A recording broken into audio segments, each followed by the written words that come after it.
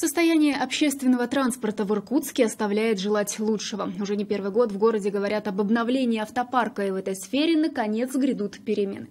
В областном центре появятся новые автобусы для пассажирских перевозок. Об этом шла речь на пресс-конференции мэра города по итогам 2023 года и планам на 2024. Сейчас в администрации разрабатывается концепция развития инфраструктуры. В документе будут прописаны единые требования ко всем перевозчикам, которые работают на городских маршрутах. Это коснется и технического состояния транспорта. Под новые критерии точно не попадут архаичные пазы, которые сейчас курсируют, например, между центром и Новолениным. Такая же судьба ждет пожилые корейские маршрутки.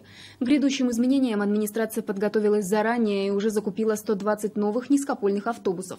Техника приобретена в кредит, но вложение должно себя оправдать. Мэрия ждет такого же шага – обновления автопарка и от частных перевозчиков. Мы показываем этот пример, и, соответственно, там, где этому примеру не будут следовать, у нас есть возможности замещения. И ну, я больше чем уверен, что коллеги сегодня либо подтянутся, ну, либо им придется заниматься в несколько другом направлении. Потому что требования ко всем будут идентичны. Нужен новый комфортабельный транспорт,